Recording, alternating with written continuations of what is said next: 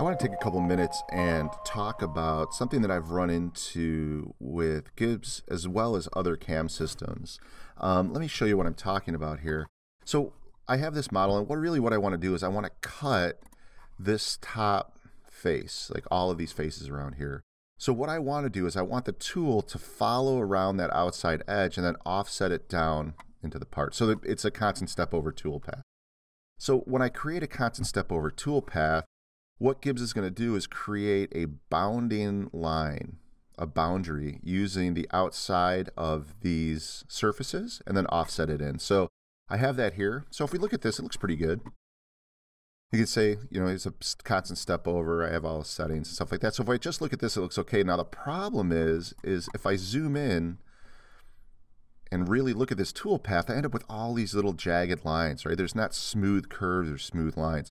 So what I want to do is I want to talk about where these lines come from as well as how to fix this. Uh, it's pretty easy to fix and once I explain where they come from I think you'll understand um, the fix and how to create better three-axis toolpaths um, when there's a bounding line involved. Okay, so let's talk about where these lines come from.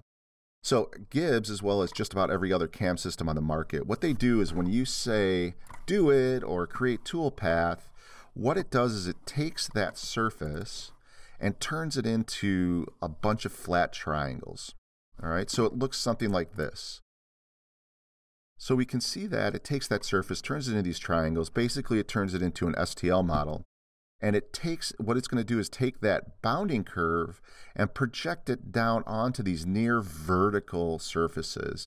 And really that's the issue here, is it's these surfaces, this flat surface and this tangent point is it's not vertical, it's near vertical, so it's we get these triangles that are kind of on this angle.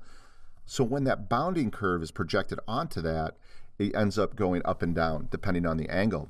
Because of the way this toolpath in particular, constant step over is calculated, it takes that bounding curve and then offsets it up. That's why we don't just see these curves on this line because it takes this first tool path, this bounding curve, and then offsets it up. So we can actually see a pattern here as it offsets up and then it gets better as it goes on. So that's where it comes from. So let's talk about how to fix it.